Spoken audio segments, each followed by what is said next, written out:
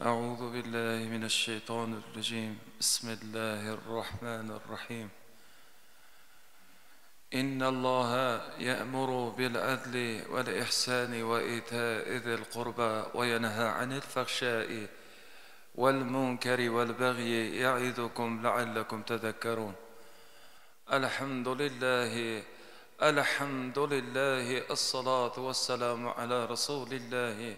أما بعد muhtaram ahli islom ahli iymon azizi mo'min musulmonlar assalomu alaykum va rahmatullohi va barakotuhu xush keldinglar allohga hamd bo'lsin. Yaratgan robbimizga shukronalarimiz bo'lsin.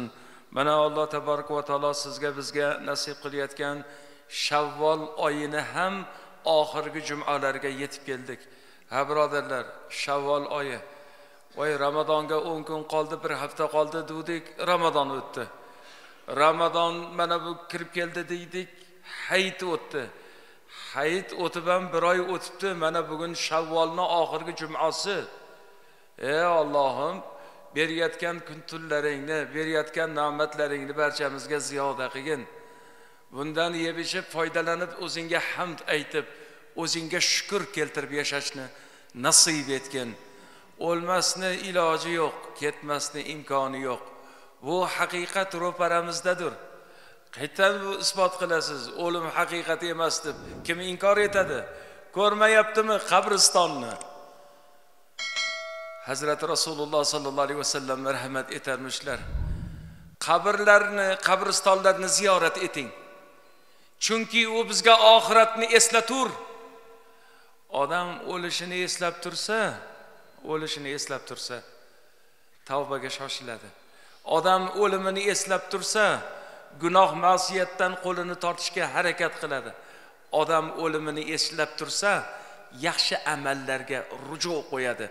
Odam o'limini eslab tursa zulmga o'tmaydi. Ey ollohim o'limni unutishlik dardidan asragin. Ha birodarlar bu ham bir mana bo'ldiku har xil koronavirus andoq mandoq dardlar.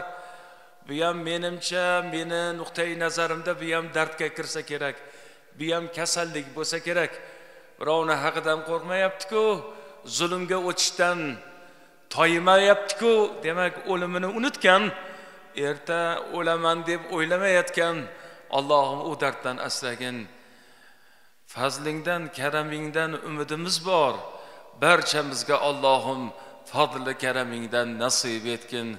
Hamma xavfu rajoda kishi behbud emas mashrab kim yomonlik yaxshilig'in tonglab borib xudodan so'r. San o'tirib olib birovni yaxshiga yomonga chiqarmagin deydi hazrati mashrab. Hammani xavfu rajo xavf degani qo'rquv degani rajo degani ollohdan umid degani. E hamma bandani ollohdan qo'rquvi bor o'ziga yarasha. Hamma bandani olloh taborak va taolodan umidi bor o'ziga yarasha. Hazrati mashrab aytyaptilarki san o'tirib olib birovni yaxshiga yomonga chiqarmagin. Kimni yaxshi yomon ekanligini qiyomatda ollohdan so'raysan deyayotganlar ekan allohim dunyoda va oxiratda yaxshilar bilan birga qilgin. Soniyan hazrat payg'ambarimizga rasululloh sollallohu alayhi vasallamga durudi salovat va salomlarimiz bo'lsin muhtaram azizlar. Bugun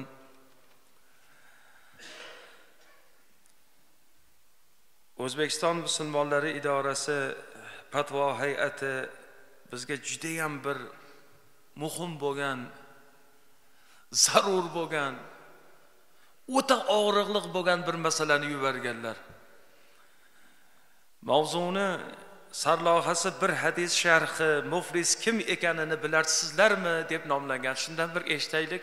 Iloho bundoq dolzarb bundoq zarur bundoq muhim masalani yuborayotgan ulamoni dunyo va oxiratini obod etgin ollohim muflis deb bankrotni aytadi bankrot.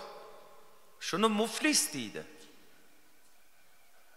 Moliyaviy ahvoli qiyinchilikda tanglikda qoladi.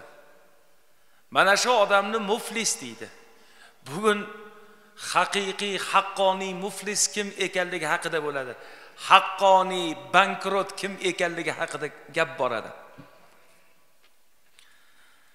Muhtaram jamoat bugungi ma'ruzamizda payg'ambarimiz sollallohu alayhi vasallamning hozirgi kunda ko'pchilik mo'min musulmonlar e'tibor bermayotgan masalalarni o'z ichiga olgan va bizu sizga dasturul amal bo'ladigan bir muborak hadis shariflar haqida suhbatlashamiz.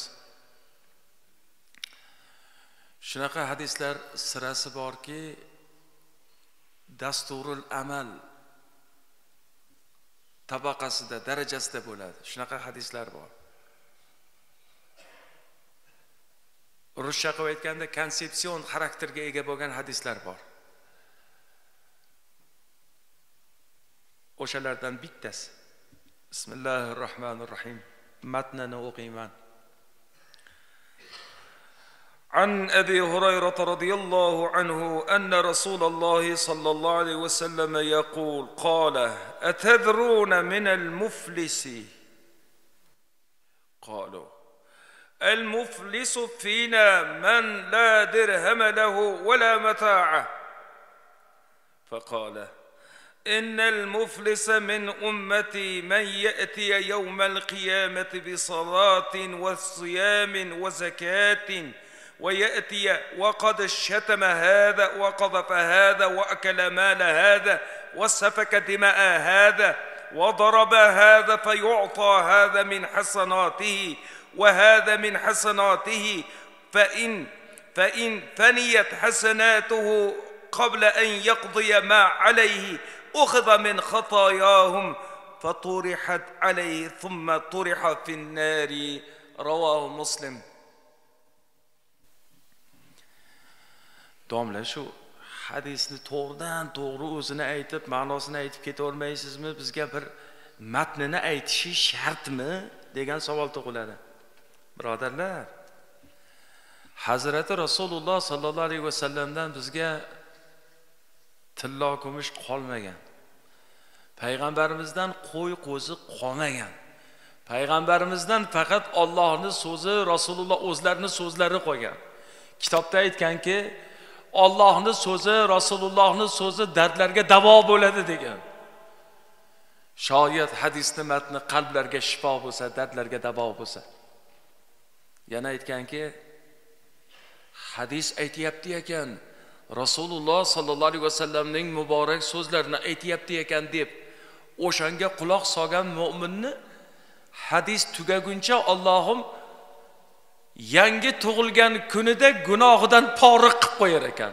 Ixlosi bilan tinglab turgan odamni alloh tabaraka va taolo gunohidan pora qilib qo'yar ekan.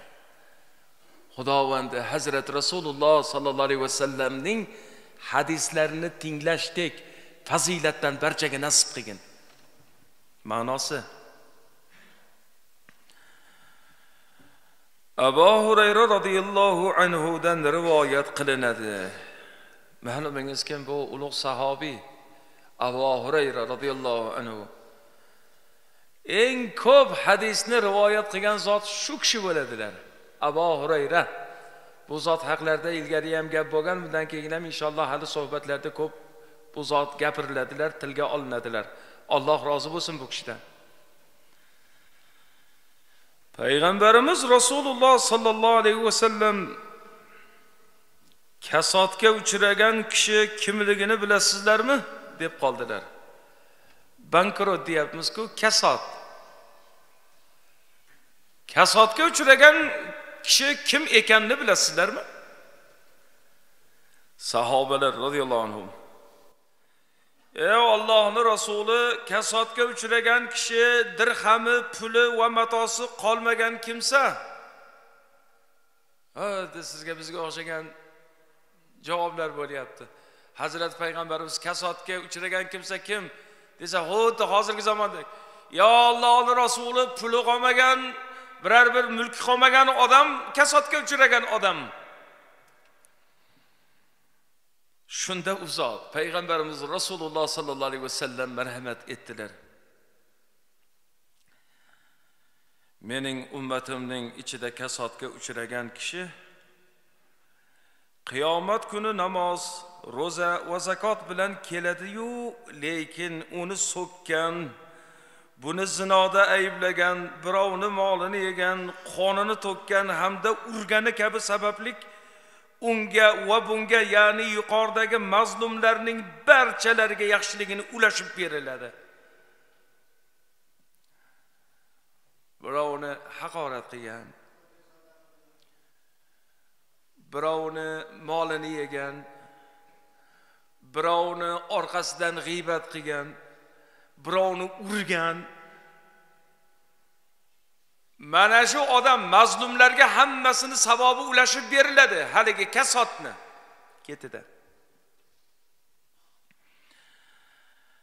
Agar yaxshiligi zimmasidagi haqni ado qilmasdan oldin tugab qolsa u holda haqdorlarning xatolarini uni ustiga tashlab so'ngra jahannamga uloqtiriladi birovni zinoda ayblagan edi. Tuhmat qilgan edi birovga. Unga savobi olib berildi. Birovni g'iybat qilgan edi unga savobi olib berildi. Birovga undoq degan birovni so'kkan birovni urgan birovga zulm qilgan birovni haqini yegan hammaga savobi olib berildi. Endi savobi qolmadiyu endi nima qiladi endi? Yetmay turibdiyu. O'sha mazlumlarni o'sha haqini yeganlarni gunohi olib berilar ekan. Mana senga. Ana senga. Olib berilgandan keyin jahannamga uloqtirilar ekan. Haqiqiy kasodga uchragan shu dedilar. Birodarlarcha dahshat hadisku. Savobini olib berilar ekan. Savobi yetmasa qolmaydi endi savobi unga. Shu bilan mazlumlarni gunohini orttirilar ekan mana senga. Ana senga.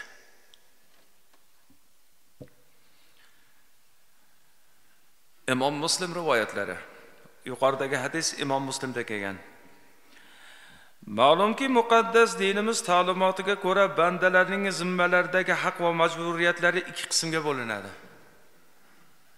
Mo'min musulmon bilib qo'yish kerak. Odamni zimmasidagi haq burchlari ikki qismga bo'linadi. Birinchisi Allohning haqlari bo'lib ularga Alloh taborak va taolo tomonidan bandasini zimmasiga yuklatilgan namoz ro'za zakot haj kabi ado etilishi lozim bo'lgan ibodatlarni qilinishi taqidlangan gunohlarni qilmaslik kabilari kiradi. Bandani Alloh bilan o'rtasidagi haqqi Alloh taborak va taolo farmon etgan namoz farmon etgan zakot farmon etgan ro'za farz etgan haj va boshqa amallari kirar ekan yana bandasini Alloh bilan o'rtasidagi haqlari Alloh taborak va taolo mana etgan qaytargan qaytariqlardan qaytish ham kirar ekan. Bu Alloh bilan bandani o'rtasidagi haqi ekan. Endi ikkinchisini eshiting ikkinchisi esa bandalarning haqlari bo'lib ular savdo sotiq qarz kabi muomalalardagi oldi berdilari shuningdek er va xotin o'rtasidagi haq huquq va majburiyatlar yoki qo'ni qo'shnilar oralari oralaridagi qo'shnichilik haqlari kabi bandalarining o'zaro haqlaridir. Bandasi bilan bandasini o'rtasida haqlari bor ekan.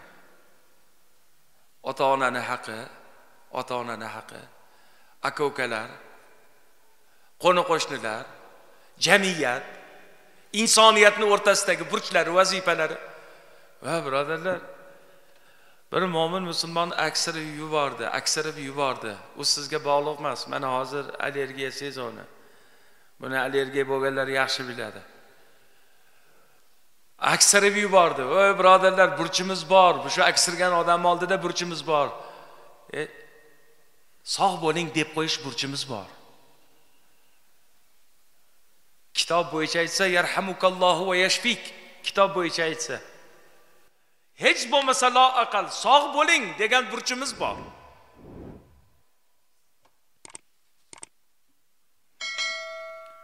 Bugungi kunda ko'plab insonlar namoz va ro'za kabi Allohning haqlariga jiddiy ahamiyat berib ularni o'z vaqtida ado etish etishga va hattoki ado etish ixtiyori bo'lgan nafl ibodatlarni ham ko'proq qilishga astoydil harakat qilsalarda bandalarning haqlariga nisbatan beparvolik va past nazar bilan qaraydilar. Ana endi hamma masala o'z joyiga keldi. Olloh bilan haqini ado etishga mustahkam namozga mustahkam zakotga mustahkam ro'zaga mustahkam. Ammo yolg'on gapiradi. Birovni haqini yeydi birovni aldaydi. Birovni g'iybat qiladi. Qanaqa bu? Odamlar hayron bo'ladi. Domla anavi besh vaqt namoz o'qiydiku haqimni yeb ketdi. U etilgan ekan birodar bir yarim ming yil oldin etilib ketilgan ekan. Uni otini muflis deyilar ekan. Muflis.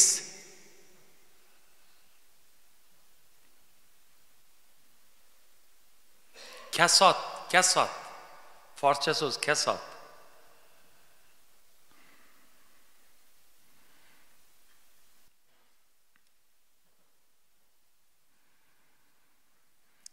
Albatta bu illatning asosiy sababi birinchi navbatda ilmsizlikdir. Bu ilamo ulamoni ana endi bu ulamoni o'zini tahlili ulamoni o'zini ko'rayotgani nazari. Birinchisi bu nimaga bunaqa nimaga odam bunaqa qiladi? Namoz o'qiydi zakot beradi ro'za tutadi hajga boradi. Nega birovni haqini yeydi? Nega yolg'on gapiradi? Birinchisi birinchisi ilmsizligidir deydi ulamo. Ketida zero bu borada oyat va hadislardan kelib chiqib arab hikmatlaridan. Al ilmu ra'su kulli khayrin val jahlu ra'su kulli xatoa arablarda shunaqa maqol bor ekan ilm har yaxshilikni boshidir. Ilmsizlik hamma gunohni boshidir. Ilmsiz odamni o'zi gunohkor hisoblanadi. Ilmga intilmaganligi uchun lekin ikkinchi jihati bor. Ilmga intiladi lekin zehniga kirmaydi. Ilmga intiladi harakat qiladi unga yuqmaydi. U odam bundan istisno alloh tabaraka va taolo bermagandan keyin bermaydida lekin ilmni xohlamaydi o'zi. Xohlamaydi xohishi yo'q. Bu odamni o'zi gunohkor hisoblanadi. Shunga ko'ra yuqoridagi hadis sharifdan biz anglab olishimiz lozim bo'lgan muhim bir qoida shuki shariatimizga ko'ra bandaning haqi Allohning haqidan muqaddam turadi va biz bu narsani bir qancha misollarda ko'rsak bo'ladi. Ulamo aytyapti ho'p Alloh bilan bandani haqi bo'lsa Alloh bilan bandani o'rtasida haqi birinchi burchi mo'minni. Ikkinchi burchi mo'minni. Bandalari bilan bandalarni o'rtasidagi haqi. Ulamo aytyaptiki Alloh bilan bandani o'rtasidagi haqidan ko'ra ikkinchisi banda bilan bandani o'rtasidagi haqi ustun deydi. Mana endi hozir so'zni isbotlaydi qarab turing. Qanaqa ustun bu? Qanaqa ustun? Masalan banda bilan Allohning qarzi jam bo'lganda bandaning qarzi muqaddam turadi. Misolni qarang juda chiroyli juda muhim juda ham bir o'rnida beryapti. Masalan alloh taboraka va taolo bilan bandani haqqi bab barobar kelganda birinchi bandani haqqi beriladi deyapti ulamo. Ya'ni birovdan qarzi bor odamga zakot va haj kabi Allohning haqlari va qarzni ado etib bo'lguncha lozim bo'lmay turadi. Ana bittasi. E alloh taboraka va taolo farz etgan zakotni. Farz etgan hajni. Nega qilmayapsan hajga bormayapsan? Nega zakotni bermayapsan? Ha barakalla birovdan qarzim bor. Qarzimni berishim kerak. Hozir eshityapmiz shunaqa odamlarni hajga ketib qolayotgan odamlarni?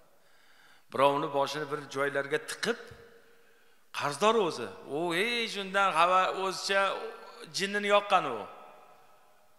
Hech narsani bilmaydi tasavvur qilmaydi.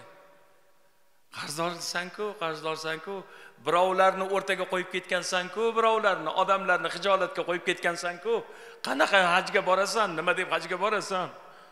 Qanaqa zakot berasan qanaqa namoz o'qiysan qanaqa qo'lingni ko'tarasan? Ey mo'minlar ey musulmonlar biz biz birinchi tartibni axir tartibni hamma biladi. O'zimizni jinnilikka solmaylik. Va birodarlar tahorat qilsak birinchi oyoqdan boshlamaymiz birinchi qo'ldan boshlaymiz. Qo'lni yuvamiz og'izni chayamiz burunni chayamiz yuzni chayamiz. A barakalla tartibni qilayotgan ekanmizu? Nega olloh farz etgan joyida bandasini haqqi farz bo'lib turgan joyda alloh taborak va taoloni farzini qilishga shoshilamiz? Mana ulamoni dalili bu jiddiy narsa bu.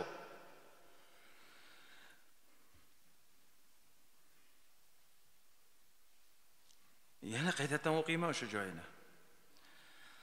Masalan banda bilan ollohni qarzi jam bo'lganda bandaning qarzi muqaddam turadi. Alloh taboraka va taolo farz etib turibdi. Lekin bandasiniki ham bor. Lekin bandasiniki ustun turadi deyapti. Haligi misolni keltirgan.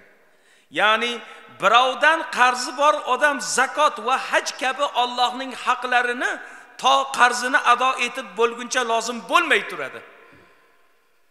Xudoni farmoni shu. Bandam qarzing bo'lsa qarzingni ado qilgin. Zakot bermay turgin. Voy bandam meni meni ziyoratim hajga kelguncha qarzingni ado etgin deganday bo'ladi.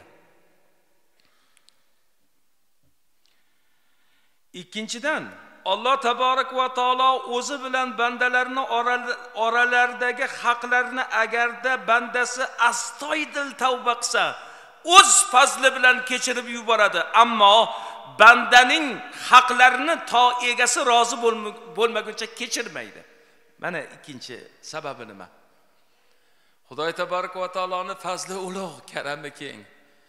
O'zi bilan bandasini o'rtasidagi haqini kechib kechirib yuboradi agar istasa Allohim iroda etsa. Lekin bandasini haqini yegan bo'lsa Alloh uni kechmas ekan. To bandasi kechmagunicha.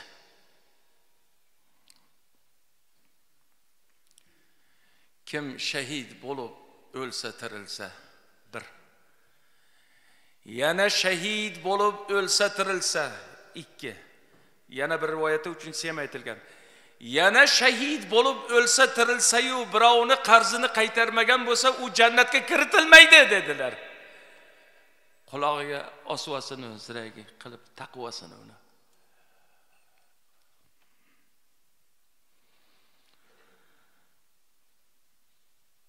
zero harom amallar ham shariatimizga ko'ra ikki qismga bo'linadi. Birinchisi haromi zulmiy ya'ni zulm zulm aralashgan haromlar.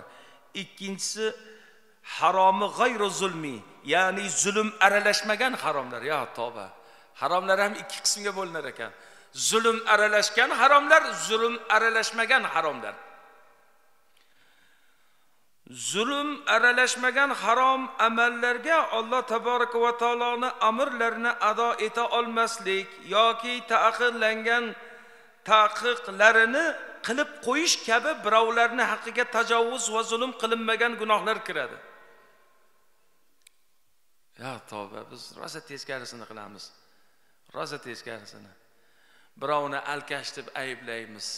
Alkash deb birovni namoz o'qimaydi deb ayblaymiz.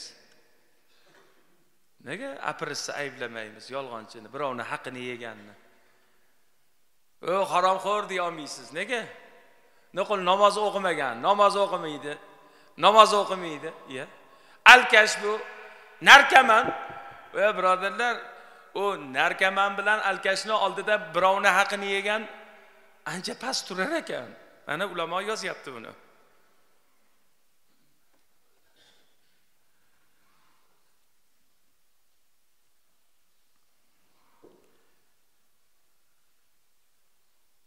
Zulm aralashmagan harom amallarga alloh taboraka va taoloni amrlarini ado eta olmaslik yoki taqidlarini qilib qo'yish kabi birovlarni haqqiga tajovuz va zulm qilinmagan gunohlar kiradi.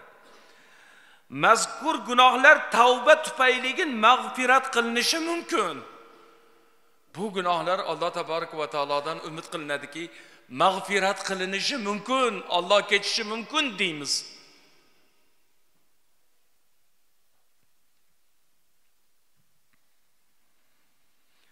Ammo birinchi turdagi ya'ni zulm aralashgan gunohlar esa to o'sha mazlum haq egalari rozi bo'lmagunga qadar alloh taborak va taolo tomonidan kechirilmaydi. Kechirilmay turishi jazo o'laroq ta'kidlangan. Ya'ni o'zi zulm egasi kechmagunicha Alloh uni kechmaydi. Haqi berilmagan inson kechmagunicha Alloh uni kechmaydi.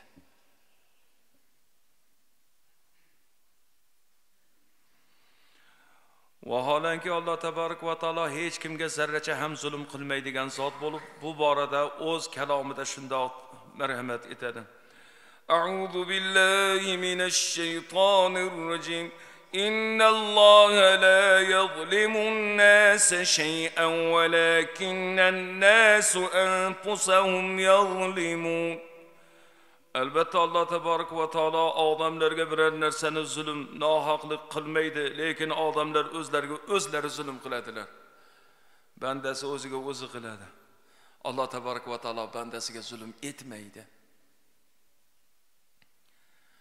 ko'rmaysizmi hazrati yunus payg'ambarimizni baliq qornida aytgan so'zlarini ko'rmaysizmi a'udhu billahi minash shaytonir rojim لا إله إلا أنت سبحانك إني كنت من الظالمين hozirgi suriyani naynavo degan shahrida yunus degan payg'ambarimiz o'tgan ekanlar shu kishi baliqni qorniga tushib qolgan ekanlar qirq kun yotgan ekanlar qirq kun qirq kun shu duoni o'qigan ekanlar la ilaha illa anta subhanaka inni kuntum minaz zolimin ey bori xudoyo sandan o'zga hech iloh yo'q man o'zimni jonimga o'zim zulm qildim o'zimga o'zim zulm qildim. Birodarlar bandasi tan olishlikni o'zi bu narsa. Katta savob ekan olloh zulm qilmaydi. Bandasi o'ziga o'zi zulm qiladi.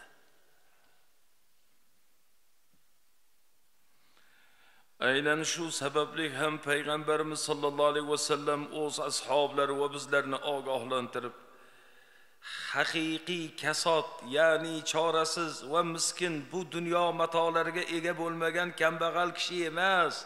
Balki qiyomat kunida bir qancha namoz ro'za zakot kabi toat ibodatlar bilan mahshar maydoniga keladigan ammo dunyodaligi paytida bandalarning haqlariga beparvolik qilib birovni molini nohaq yo'llar bilan qo'lga kiritgan boshqani qonini nohaq to'kkan birovga tan jarohi yetkazgan yoki uni haqorat qilib so'kkan yoki unga tuhmatlar qilish yoki uni qadri qiymati va obro'sini to'kish kabi ishlar bilan zulm qilib zolim holida kelgan kimsadir.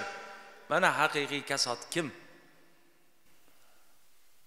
Ha bechora namoz o'qiydi ha bechora hajga borgan ha bechora zakot berib yuradi.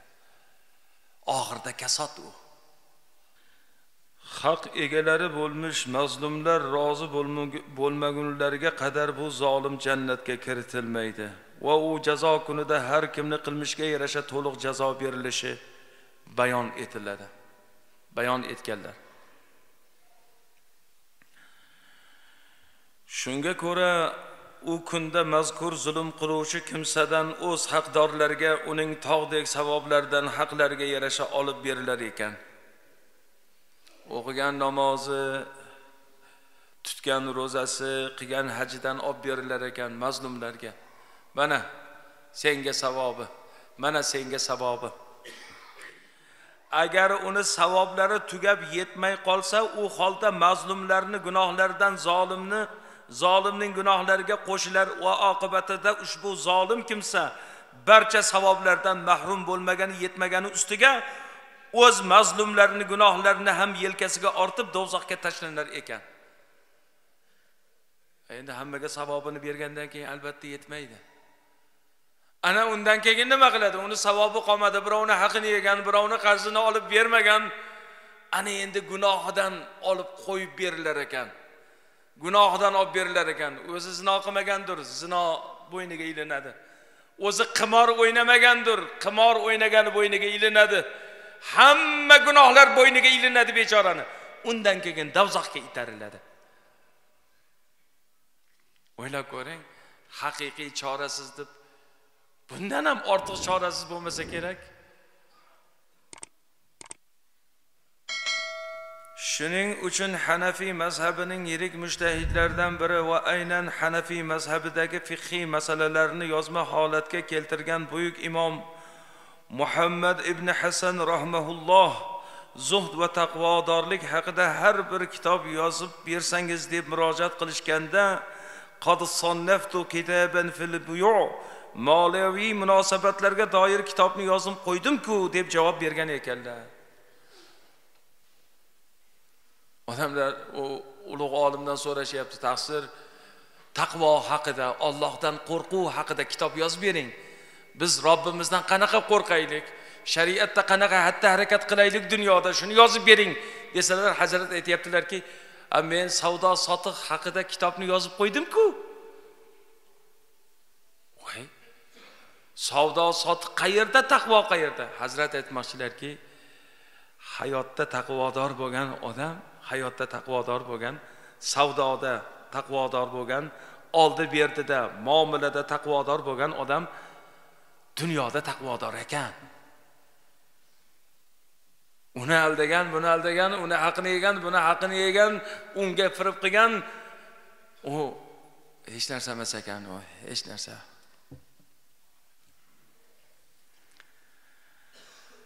Mana bu yerda ziyraklik mo'minlar sifatidir degan bir ilova mavzu kelgan shuni ham o'qib eshittiramiz. Musulmon kishi mahkam ushlashi lozim bo'lgan go'zal xislatlardan biri ziyratlik va hushyorlik bo'lib bu inson uchun berilgan ulkan ne'matlardan biridir. Chunki inson hayotida turli xil voqea va hodisalarga duch keladi. Agar mo'min kishi kerakli joyda hushyor va zakiy bo'lmas ekan boshiga turli xil fitnalar ko'ngilsizliklar kelishi mumkin. Hozir eshitamiz nima haqida gap ketishini bugun biz yashab turgan jamiyatda insonlar xususan musulmonlar har qaysi davrdan ko'proq hushyor zukko va ogoh bo'lishga majburdirlar hozirgi kunda jamiyat hozirgi kunda vaziyat hozirgi kunda zamon shuni talab qiladi. Hushyorlikni talab qiladi ziyraklikni talab qiladi. O ilgari hushyor bo'lmasang ham ziyrak bo'lmasang ham bo'laverar. Hozir odam bunga majbur. Hushyor bo'lishga majburmiz. Ziyrak bo'lishga majburmiz. Mana hozir eshitamiz nima haqida gap ketishini.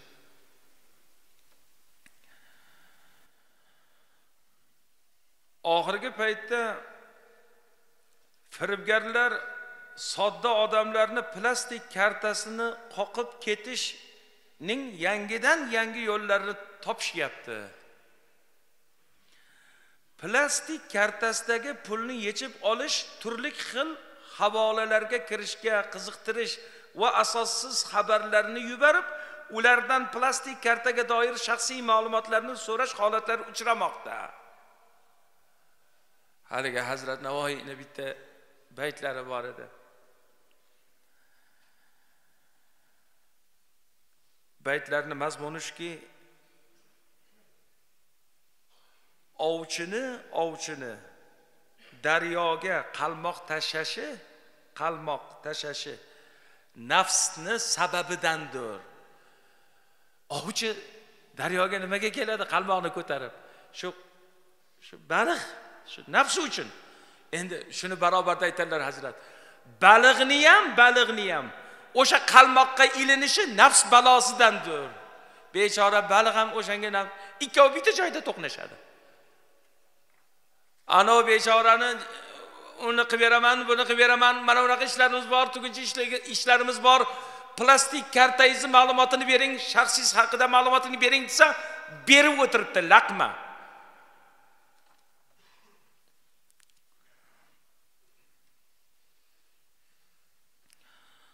Bu haqida soha xodimlari tegishli tashkilot va davlat xizmatchilari tarafidan ko'p ogohlantirishlar berilmoqda bu haqida. Shunga qaramay ba'zi kishilar oson pul topish ilinjida ularning makriga tushib qolayotganligi nihoyatda achinarli holat.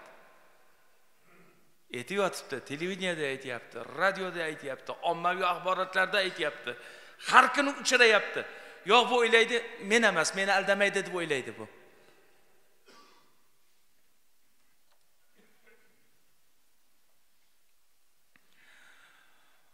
Alloh taborak olloh musulmonlarga ilmiy asosda ish olib borishni ko'rsatib shunday marhamat qiladi.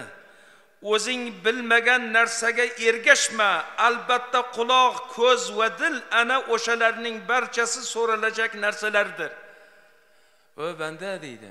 O'zing bilmagan narsaga ergashma deb turib yo'lini o'rgatyapti Allohim.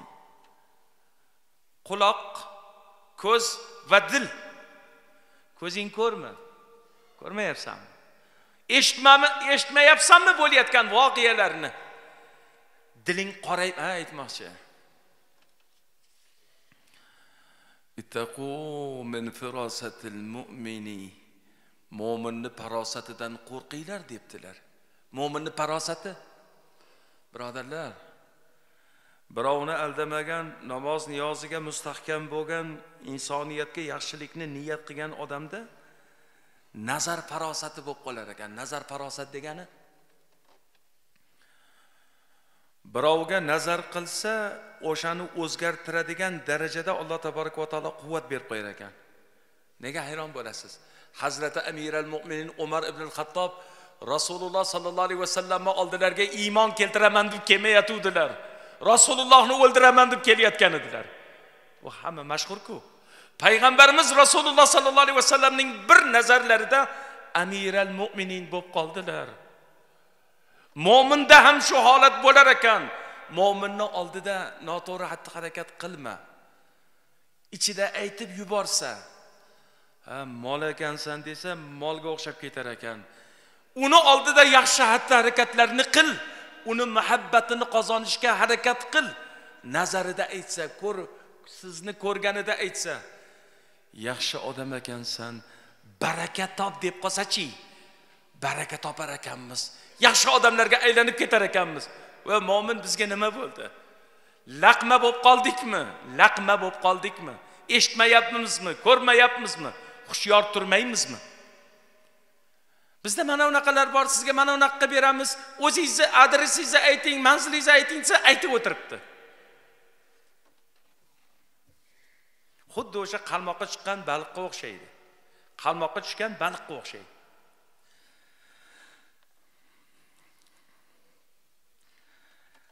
Hayot taqozosi bilan insonlar doimo bir birlari bilan turli xil moliyaviy muomala qilishga muhtojdirlar. Lekin bu aloqada maqsadni halol yo'l bilan amalga oshirish harom yo'llardan va o'zgalarning haq huquqlariga hamda mol mulklarga tajovuz qilmaslik shartdir.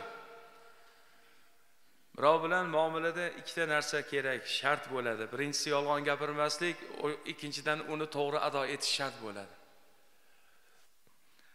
Hayotda o'zgalarning moliga ko'z olaytirib ularga xiyonat qilganlar qiyomatda Alloh Allohni huzurida hisob beradilar va albatta haqlari Alloh taboraka va taolo tarafidan o'z egalariga olib beriladi. Hozir shu mavzu ketyapti. San shoshma menikini yebdi deb xafa bo'lma. Hali qaytarib olasan uni. Lekin uniki bechora u bechora kasod u. u senga qaytarib berganda seni gunohing unga olib berilganda u chorasiz qoladi. U chorasiz qoladi.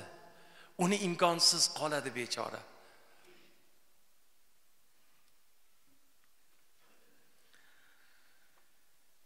Birovni haqini yeyish zo'rlik bilan tortib olish xiyonat o'g'irlik talonchilik hazil o'yin orqali aldash ularning ishontirish orqali plastik kartalardagi pullarni yechib olish kabilar kabilar orqali bo'ladi.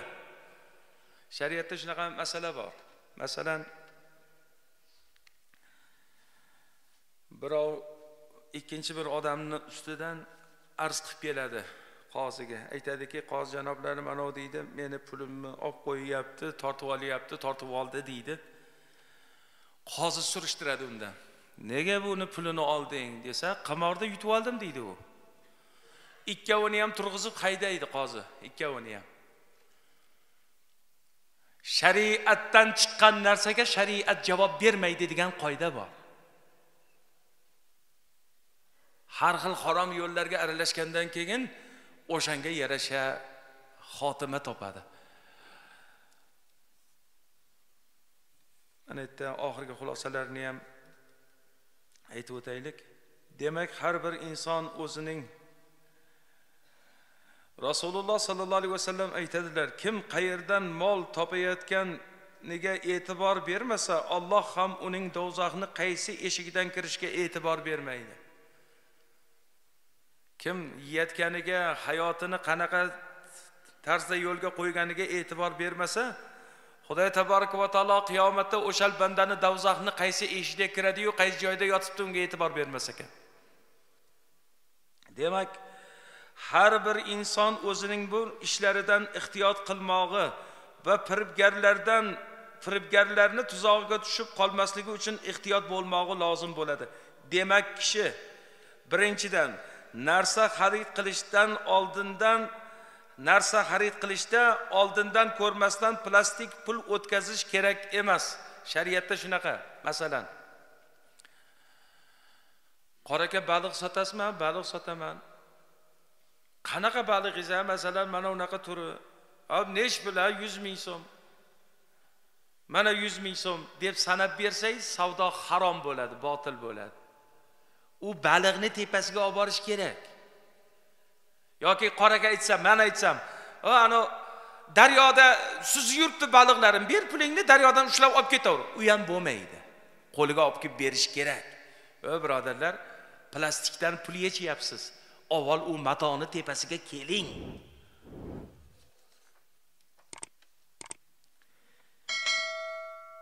Ikkinchidan har xil yolg'on havolalarga ishonmaslik.